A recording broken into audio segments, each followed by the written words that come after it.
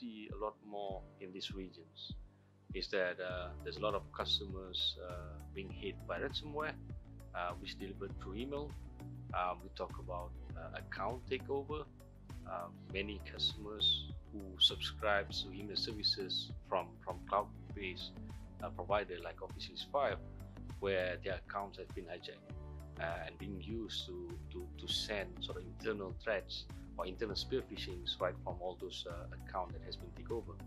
Um, and we also see there's a lot more uh, business email compromise um, attacks that, that is actually happening now uh, in, in, the, in the region.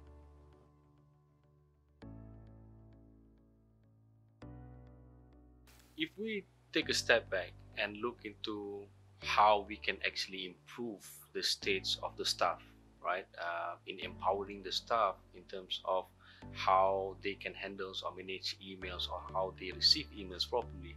Uh, we are looking into a way of how we can ensure continuous uh, security awareness uh, and also cyber security trainings in, in, in organizations.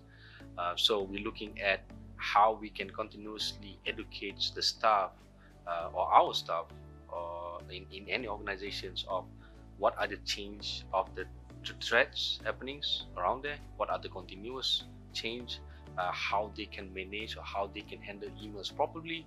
Uh, we look into um, if if they are uh, trainings that they should go about right? How we can link those security or cyber security awareness training and link them back to a proper training that they should go uh, and further enhance their, their skills in managing emails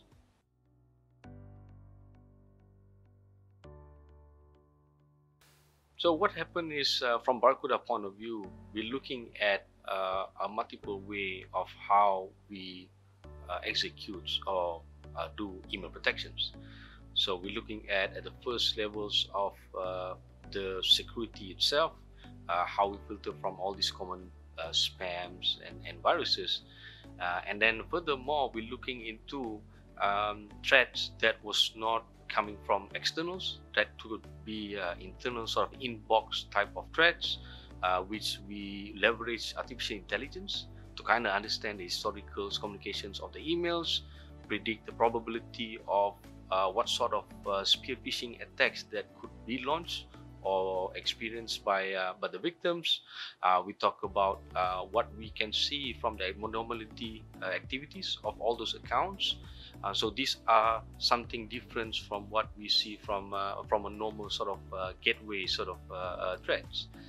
and then beyond that, we're looking at how we can continue to empower the user, the, the our staff, to continuously be aware of the changing of the threat landscape and how they can manage uh, uh, to kind of be the, the, the, last line of defense uh, in, in an organization. So in Barracuda, this is what we call Barracuda Total Email Protections.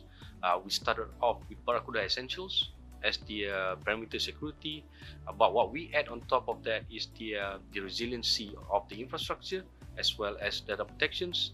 And, and a little bit more further in, we talk about the inbox protections. This is what Barracuda called Barracuda Sentinels um, and which which leverages uh, artificial intelligence to provide protections, uh, real-time protection against spear phishing attacks, uh, domain fraud uh, uh, defense as well, and last but not least, Barracuda PhishLine, which is the uh, cybersecurity and spear phishing attacks simulations.